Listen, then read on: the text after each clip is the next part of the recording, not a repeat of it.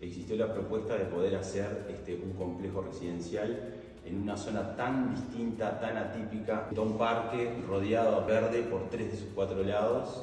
Eh, la idea fue no, no cerrarnos hacia el entorno, eh, las torres tienen una separación entre ellas que permite que el verde del exterior y del parque se filtre hacia ese espacio interior y lograr algo este, que si bien uno lo siente como un complejo cerrado, al mismo tiempo es abierto a su entorno.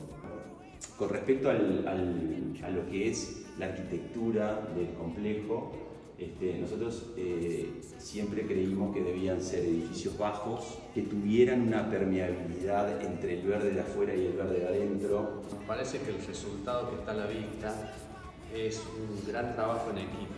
Que nada, hace a, un coronamiento de todo un trabajo de mucho tiempo que, como dice Diego, veníamos desde, desde, el proyecto inicial discutiendo tamaños, tipologías, orientaciones, tamaño de la ventana. Bueno, creo que el resultado final es, es, gratificante para todos, no solamente para el consumidor final, sino nosotros también como desarrolladores, arquitectos. Creo que es muy gratificante ver a la gente que, se lleva algo más de lo que, de lo que pensó cuando al momento concretó una, una compra. ¿no?